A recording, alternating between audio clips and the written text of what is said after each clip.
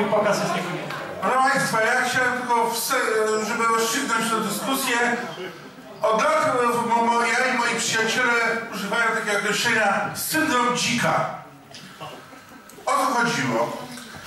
Rok 1997 ja i wielu moich przyjaciół dziennikarzy jesteśmy zaproszeni przez Mariana Krzaklewskiego do środka Niedźwiadek koło Kościerzyny.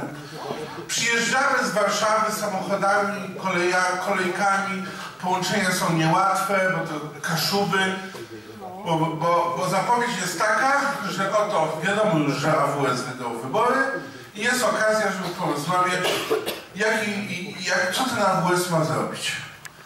No ja oczywiście y, bardzo zainteresowany, będzie Krzaklewski, będzie y, Janusz Tomaszewski, będzie y, cała czołówka AWS-u, powiem im, jakie mam nadzieje i tak dalej. Przyjeżdżamy i okazuje się, że cała sprawa jest tak skonstruowana, że dyskusja niby się wygłasza Marian Krzaklewski nudny jak flaki z oleju referat o, o, jak to się świetnie udało wygrać, a ja czekam, kiedy będzie dyskusja, co ten AWS ma zmienić w Polsce po pięciu latach rządów SLD.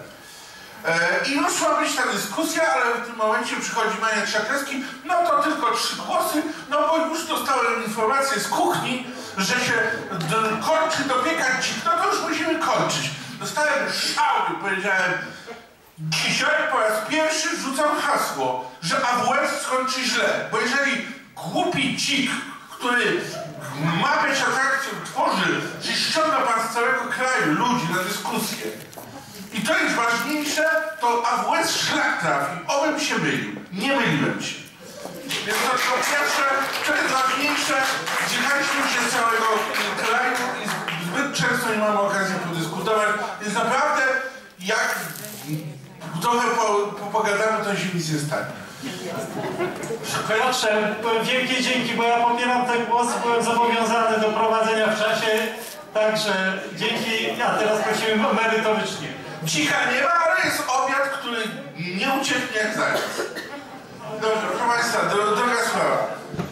E, Stowarzyszenie Dziennikarzy Katolickich ma moim zdaniem bardzo ważną rolę prostej sprawie, to znaczy wobec kryzysu dziennikarskiego być może będzie tak, że tylko dziennikarze z inspiracją katolicką będą pamiętać o potrzebie, że zawód dziennikarski wynikł z mówienia prawdy i musi być tym, co w innym kontekście, ale Benedykt XVI y, przy, przyjął określenie współpracownik prawdy. Ponieważ zjawisko zamieniania się dziennikarzy w PR-owców Wszyscy o tym mówią jako takiej e, zarazie, której nie można zapobiec. No tak już jest. Ja pamiętam dobrze, jak um, parę lat temu na, przyszła do mnie na praktykę dziennikarka i mówi, no wie pan co, ja mówię, no po co pani przyszła na praktykę do Rzeczpospolitej?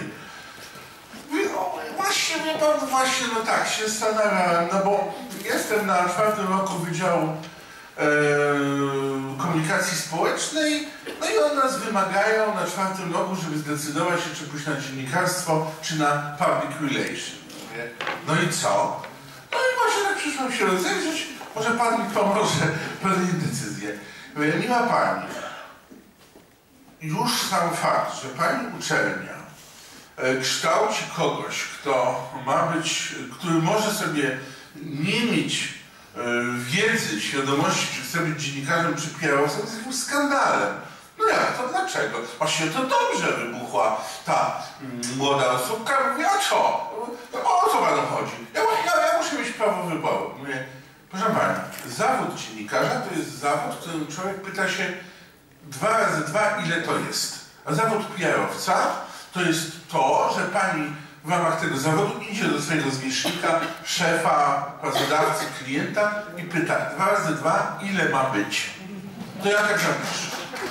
I to, że pani nie rozumie tego, powoduje, że ja nie bardzo mam ochotę z panią przez dwa tygodnie się teraz kitłasić, bo pani tego przez cztery lata nie zrozumiała e, i e, nie sądzę, że w ciągu dwóch tygodni pani sobie miała y, z moją, bez, czy bez mojej pomocy do tego wniosku dotrzeć.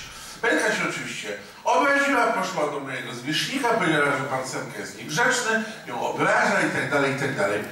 Ja poszedłem do mojego szefa i powiedziałem, nie mam najmniejszych wyrzutów sumienia, że tej pani powiedziałem, że ktoś ją skrzywdził. Przez 4 lata ją oszukiwano, że PR i dziennikarstwo to jest to samo. Ja tego robić nie będę. I proszę tego ode mnie nie wymagać, jeżeli na czyjś obrażona, to trudno. Może coś z tej rozmowy zrozumie, jeżeli nie, to będzie wzrastała ilość dziennikarzy, którzy nie rozumieją, co chodzi. I teraz o tym, że...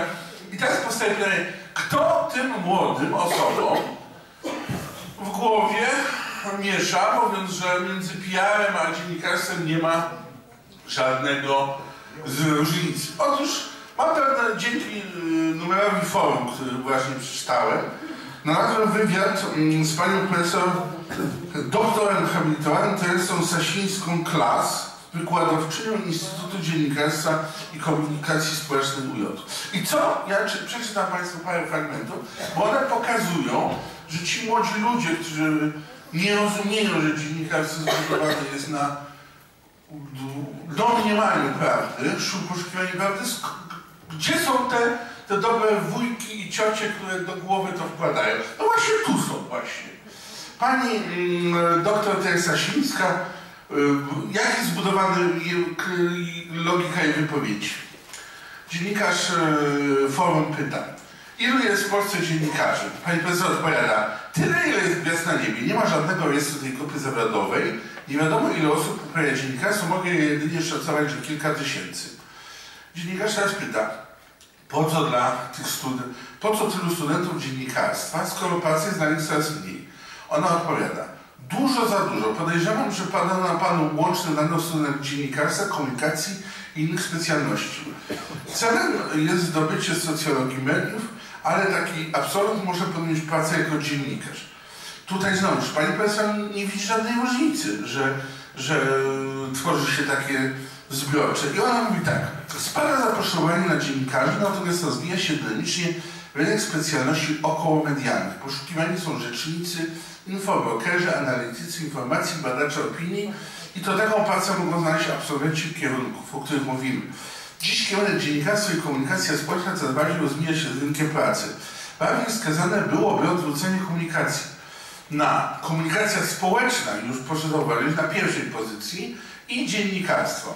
Zresztą ci, którzy lubią dziennikarstwo, potrzebni są bardziej w nowych internetowych mediach niż w prasie, których się zmniejsza. No i teraz dalej, pani na koniec jeszcze takie zdanie mówi. Jaki Pani widzi przyszłość dla zawodu dziennikarza? Odpowiedź. To coraz bardziej zawód przeszłości, natomiast będzie przybywać miejsc pracy w zawodach okołomedialnych, co jest wyraźnie widoczne o, także w naszym kraju. No więc problem polega na tym, że jak ma się rozwijać dziennikarstwo, skoro wykładowca y, uczelni y, tak po pierwsze nie widzi żadnej różnicy między PR-em a dziennikarstwem, po drugie informuje tak naprawdę, że dziennikarstwo to jest y, zawód, który wymrze. Nie wymrze z prostego powodu, ponieważ y, ludzie wierzą, to jest troszeczkę tak jak opowiadano w komunizmie, że y, chęć ludzi do posiadania własności wymrze, bo wszystko będzie wspólne. Nie. Problem polegać będzie tylko na tym, że na rynku komunistycznym było mało prawdziwej informacji.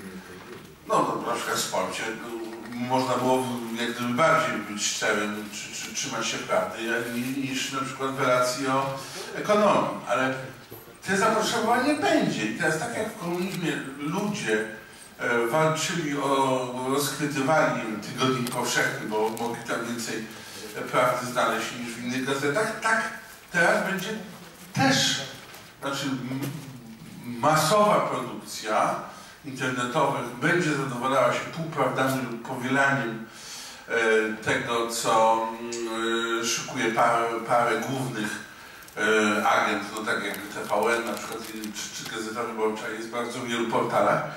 Natomiast zawsze będą ludzie, którzy będą dążyli do informacji kwalifikowanej. Skąd się bierze to, że w ogóle tak dużo jest informacji niekwalifikowanej, czyli mówiącej albo o bzdurach, albo o mm, rzeczach nieistotnych. No, innymi z tego powodu, że żyjemy w świecie bezpiecznym, czyli dostęp do informacji przestał być już istotny, prawda? I dlatego mogą być informacje pod tytułem, czy Doda związała się z Radkiem Majdanem, czy na odwrót, czy o zaszłości i tak dalej. Natomiast dziennikarstwo związane z prawdą zawsze będzie wartością, bo wszystko, co dotyka wartości, zawsze jest towarem poszukiwanym. I jeśli dziennikarstwo przeżywa kryzys, to być może także rolą dziennikarzy, którzy uznają znaczenie wartości, jest przypominanie, że to mówienie, że dziennikarstwo wymrze i będą tak zwani media workers, czyli ludzie opracowujący media, ale bez odpowiedzialności moralnej za to, czy coś jest prawdą, czy nie, to właśnie w tym środowisku być może jest ta rola, że w czasie, kiedy świat oszalał, albo świat uważa, że można się obejść bez prawdy, właśnie my, dziennikarze, którzy wierzą w wartości, powinni przypominać, to jest chwilowa moda, to jest chwilowe przekonanie, że można tworzyć rynek informacji abstrahując od wartości, abstrahując od prawdy. Tak, tak jak, nie wiem, właściciel e, podpalanej fabryki w czasie rewolucji październikowej mógł mówić, możecie mi spalić fabrykę, ale ja nigdy nie uwierzę, że uda się komunizm, e, który będzie e, tworzył e, poczucie własności wszystkich. Tak dzisiaj, nawet jeżeli wszyscy będą wam wmawiać, że dziennikarstwo bez podstawowego kryterium podejścia do prawdy, czy nie, będzie wypierane, to powiedzieć nie. Tak, ten kryterium prawdy lub braku prawdy w dziennikarstwie nie da się e, wyjałowić. Co najwyżej może to być dziennikarstwo zamknięte na jakiś margines, do którego ludzie nigdy wierzę, to głęboko zawsze wrócą. Ponieważ chęć wiedzenia jak jest, jest jedną z e, wymogów rozumu, już nie mówiąc o sumieniu. Dlatego pamiętajcie Państwo, że jeżeli będą wmawiać, że, że to jest koniec świata dziennikarstwa, koniec świata dziennikarstwa popierającego wartości, to to jest chwilowa moda, która prędzej czy później przeminie. Dziękuję. I dzięki za przypomnienie, że co jest naszą misją. Dzięki wielkie, to był cenny głos. Krzysztof Skowroński jeszcze na 54 sekundy, jak zadeklarował. E, Dziennikarstwo wymrze, jak nie będzie, jak dziennikarze nie będą jedni. Głos w sprawie obiadu to po pierwsze. E, Po drugie, e, po drugie chciałbym tylko e, powiedzieć, prze, przedstawić Państwu, gdzie jest sekretarz generalny Stowarzyszenia Dziennikarzy Polskich Stefan Truszczyński. Jest z nami, za chwilę przemówi. Teresa Bochwic jest w zarządzie Stowarzyszenia Dziennikarzy Bochwic jest w zarządzie Stowarzyszenia Dziennikarzy Polskich, a podziękować za organizację chcę dyrektorowi Generalnego Stowarzyszenia Dziennikarzy Polskich, pani, pa, pani Bożenie Dobrzeńskiej. Brawo dla pani Bożeny, bo e, nas tutaj e, przywiozła. E, dziękuję. Zapraszamy, pan redaktor Leśniński jeszcze. Ale to kolejność zgłoszeń. Krzysztofie, kolejność zgłoszeń. No bo ja też chciałem powiedzieć, że e, członek władz warszawskich Stowarzyszenia Dziennikarzy Polskich. Miałem na karteczce, chciałem skrócić. Dzięki serdecznie. Wyciąć.